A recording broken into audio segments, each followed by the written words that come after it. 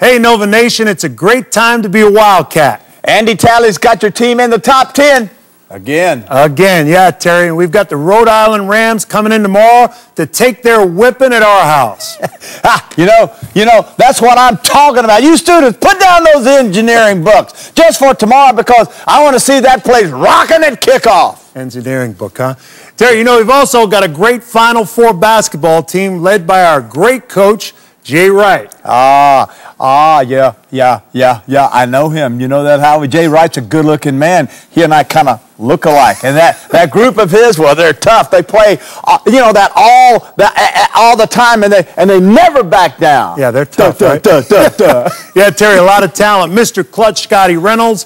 The Scottie, I oh, love yeah. Scottie. The Brooklyn Battler, Antonio, oh, Antonio Pena, Pena. and oh. the Corey's in the backcourt. Get out of here. Fisher and Stokes. Oh, yeah, man, you know them. I, it, yeah, yeah, yeah. Is Coach Wright going to go with the four guard, you know, crew press all over the court, play that up tempo style? I like it. I'm sure he will, Terry. And when you factor in the outstanding crop of newcomers, this Wildcat team is going to be a force to be reckoned with this season. Ah, uh, well, I can see why you folks are pumped up back there in Bryn Mawr. Bryn Mawr Just remember. Right. He's got that right. I know, I'm shocked. right off the proper. ah, so, folks, get your homework done tonight, and then get over to the stadium and get them fired up to beat those Rams. Hey, Nova Nation, you know the motto: once a Wildcat, always a Wildcat. Let's get this place rocking tonight.